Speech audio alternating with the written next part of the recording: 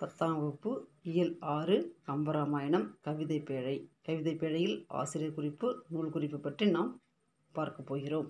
கம்பராமாயணத்தை எழுதியவர் கம்பர்.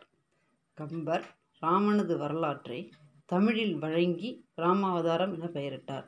பின் நாம் கம்பராமாயணம் என்று வழங்கப்பட வழங்கப்படலாயிற்று. கம்பரின் சிறப்பு. கல்வியில் பெரியவர் கம்பர். கம்பன் வீட்டு கட்டுத்தறியும் கவிபாடும் என்ற முதுமொழிக்கேற்ப உரியவர் கம்பர். அவர் தெரு திருவெழுந்தூரை சார்ந்தவர். திருவெண்ணெய்நல்லூர் சடையப்ப வள்ளலால் ஆதரிக்க பெற்றவர். விருத்தம் என்னும் ஓன்பாவிற்கு உயர் கம்பன் என்று புகழ் பெற்றவர். அவர் இயற்றிய நூல்கள் சரஸ்வதி அந்தாதி சடகோபர் அந்தாதி திருக்கை வழுக்கம் ஏர் எழுபது சிலை எழுபது முதலிய நூல்களை இயற்றியுள்ளார் சரஸ்வதி அந்தாதி சடகோபர் அந்தாதி திருக்கை வழக்கம் ஏர் எழுபது சிலை எழுபது முதலிய நூல்களை இயற்றியுள்ளார் நூல் குறிப்பு ஆறு காண்டங்களை உடையது. காண்டம் ஆறு நூற்றி பத்தொம்போது படலங்களை உடையது. காண்டம் என்றால் பெரும் பிரிவு என்று பொருள். படலம் என்றால் உட்பிரிவு என்று பொருள். ஆறு காண்டங்கள். பாலகாண்டம் அயோத்திய காண்டம் ஆருண்ய காண்டம் சுந்தர காண்டம் கிட்கிந்தா காண்டம் யுத்த காண்டம் ஆகும். நம் பாடப்பகுதியில் பாலகாண்டம் ஆற்று படலம். நாட்டு படலத்தில் இரு பாடல்கள். அயோத்திய காண்டம் கங்கை படலம் கங்கை காண்படலம்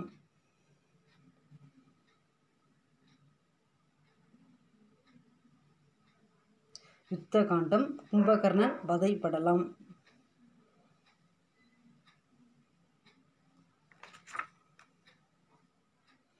பாலகாண்டம் ஆற்றுப்படலம் சரையு ஆறு. பாடலை பார்க்கலாம். தாதுகு சோலை தோறும் செண்பக காடுதோறும். பூத அவிழ் பொய்கைதோறும் புதுமணர் அடங்குதோறும் மாதவி வேலி பூக வனம் தரும் வயற் க கடேறு மோதிய உடம்புதோறு உயிரென உலாயுதன்றே. பாடனுடைய விளக்கம் சரையு ஆறு மகரந்தம் சிந்துகின்ற சோலைகள் மரம் செறிந்த செண்பக காடுகள் அரும்புகள் அவிழ்ந்து மலரும் பொய்கைகள் புதுமணல் தடாகங்கள் குறுக்கத்தி கொடி வேலியுடைய கமுகு தோட்டங்கள் நெல் வயல்கள் இவை அனைத்திலும் பரவி பாய்கிறது சரையாறு. அது ஓர் உயிர் பல உடல்களில் ஊடுருவி செல்வது போல் பல இடங்களில் பாய்கிறது என்று கம்பர் பாடியிருக்கிறார்.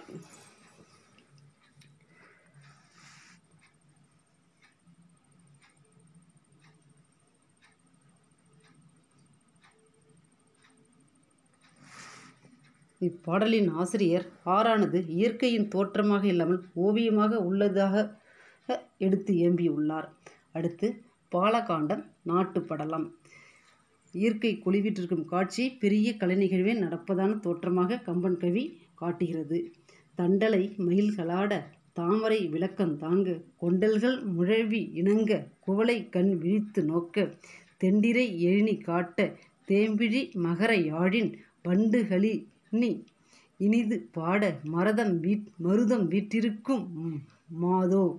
அது மருத நாட்டின் வளத்தை பற்றி கூறப்பட்டுள்ளது. மருத நாடு குளிர்ந்த சோலைகளில் மயில்கள் அழகுற ஆட விரிதாமரை மலர்கள் விளக்குகள் ஏற்றியது போல் தோன்ற சூழும் மேகங்கள் மத்தள ஒளியாய் எழ மலரும் குவளை மலர்கள் கண்கள் விழித்து பார்ப்பது போல் காண நீர்நிலைகள் எழுப்பும் அலைகள் திரைச்சீலைகளாய் விரிய மகர யாழின் தேன் ஒத்த ஓசை போல் வண்டுகள் ரீங்காரம் பாட மருதநாடு வீற்றிருக்கிறது என்று கம்பர் வருணிக்கிறார்.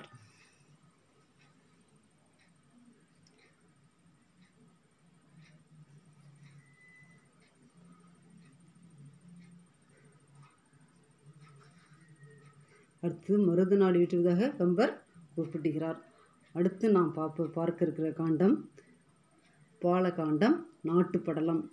அதை நாட்டினுடைய பெருமையை புலப்படுத்தும் ஒரு கம்பன் பாடல்.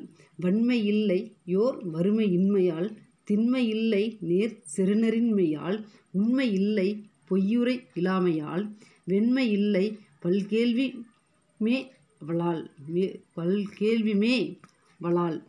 அதாவது கோசல நாட்டில் வறுமை சிறிதும் இல்லாததால் குடைக்கு அங்கே இடமில்லை. குடைனா கொடுத்து வறுமை இல்லைங்கிறதால கொடுத்துவதற்கு அங்கே இடமில்லை.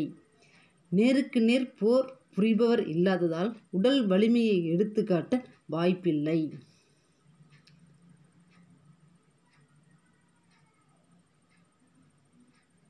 பொய் மொழி இல்லாமையால் மெய்மை தனித்து விளங்கவில்லை என பல வகை கேள்வி செல்வம் மிகுந்து விளங்குவதால் அங்கு அறியாமை என்பது இல்லை என்று கோசல் நாட்டினுடைய பெருமையை கம்பர் எடுத்து எம்புகிறார். அடுத்து அயோத்திய காண்டம் கங்கை படலாம். ராமனுடைய மானரி மேனியை வருணிக்கும் கம்பன் வெய்யோன் ஒளி தன் மேனியில் விரி சோதியில் மறைய பொய்யோய் என்னும் இடையலோடும் இணை இலை யானோடும் போனான். மையோ மரகதமோ மறிகடலோ மழை முகிலோ ஐயோ இவன் வடிவு என்பது ஓர் அழியா அழகு உடையான். இப்பாடனுடைய விளக்கம் பகலவன் சூரியன் பட்டொளி ராமனின் நீலமேனி உடலில் பட்டு ஒளியில் பட்டு இல்லை என்னும்படி மறைந்துவிட. இடையே இல்லை என்னும்படியான இடையென இடுப்பு இல்லை என படியான நுண்ணிய இடையால் சிதை யொடும் நுண்ணியன மெல்லிய இடையால் சிதையொடும் இளையவன் இலக்கவனோடும் போனான். அவன் நிறம் மையோ பச்சை நிற மரகதமோ? மறிக்கின்ற நீல கடலோ? கார் மேகமோ? ஐயோ ஒப்பற்ற அழியாத அழகினை உடைய வடிவம் கொண்டவன் ராமன் என்று கம்பன் கவி பாடுகிறார். அடுத்து அயோத்தியா காண்டம் கங்கை கான் படலாம் ஆழ நெடுந்திரை ஆறு கடந்து இவர் போவோரோ? வேழ நெடும்படை கண்டு விளங்கிடும் வில் ஆளோ? தோழமை என்று அவர் சொல்லிய சொல் ஒரு சொல் அன்றோ? ஏழமை வேடன் இறந்திலன் என்று இணை ஏசோரோ? இதில் ராமனை காண போர் படையுடன் வரும் பரதனை குகன் ராமனுடன் போர் புரிய வந்துள்ளான் என்று தவறாக புரிந்து கோபமாக கொள்வதே இப்பாடல். இப்பாடலுடைய விளக்கத்தை பார்க்கலாம். ஆழமும் பெரிய அலைகளையும் உடைய கங்கை ஆற்றை கடந்து செல்வார்களா? யானையில் கொண்ட சேனையை கண்டு புறமுதகு காட்டி விலகிச் செல்கின்ற வில் வீரனோ நான்? தோழமை என்று ராமர் சொன்ன சொல் ஒப்பற்ற சொல் அல்லவா? தோழமையை எண்ணாமல் இவர்களை கடந்து போகவிட்டால் அற்பனாகி இந்த வேடன் இருந்திருக்கலாமே என உலகத்தார் என்னை பழி சொல்ல மாட்டார்களா என்று சந்தனையமிக்க பாடியுள்ளார். கம்பர்.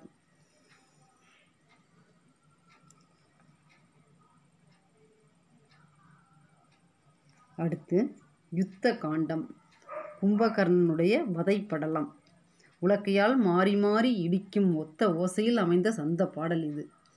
உறங்குகின்ற கும்பகண்ண உங்கள் மாய வாழ்வெல்லாம் இறங்குகின்றது. இன்று கான் எழுந்திராய் எழுந்திராய். கரங்கு போல வில் பிடித்த கால தூதர் கையிலே.